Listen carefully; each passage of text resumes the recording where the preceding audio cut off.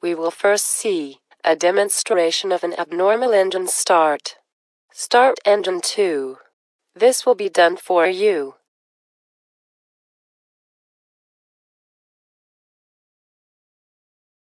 As there's no ignition, the FADEC automatically shuts off the fuel, turns off the ignition, and performs a dry crank cycle. Note, the start valve is still open.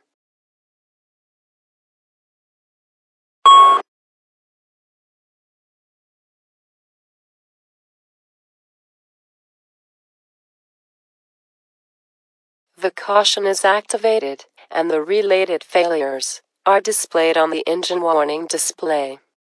Read the title of the failure. A new start is in progress, as displayed on the engine warning display. Now, both igniters are powered.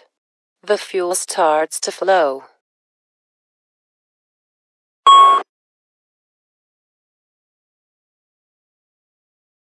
On the engine master panel, the amber fault light comes on, indicating that the automatic start has aborted. A new message is displayed on the engine warning display. This time, the FADEC shuts the valve off once the dry crank cycle is completed. The new ECAM procedure asks the pilot flying to shut engine 2 off.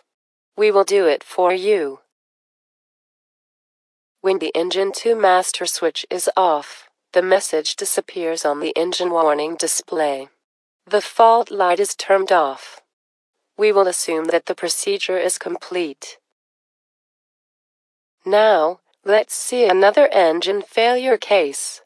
You are the pilot non-flying. Everything is normal. We are in cruise.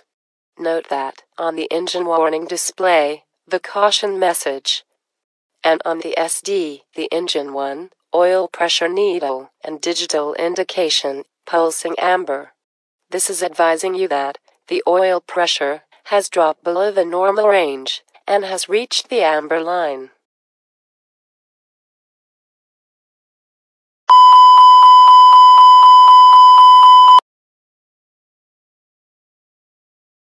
With this ECAM message, the master warning and the audio warning have been activated.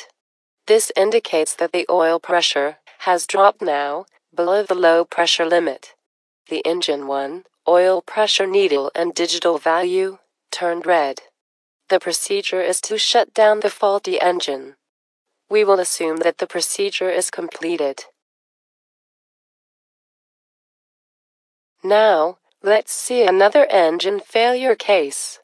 You are the pilot non-flying. Everything is normal. As soon as a nacelle temperature is above the advisory threshold, this indication is displayed at the bottom of the engine page, and the related digital indication is pulsing green.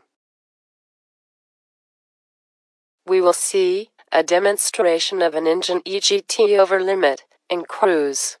You are the pilot non-flying. We are in flight and everything is normal.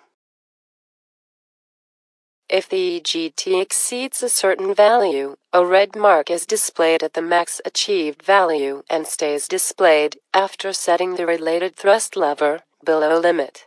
The overlimit mark will disappear after a new takeoff or following a maintenance action.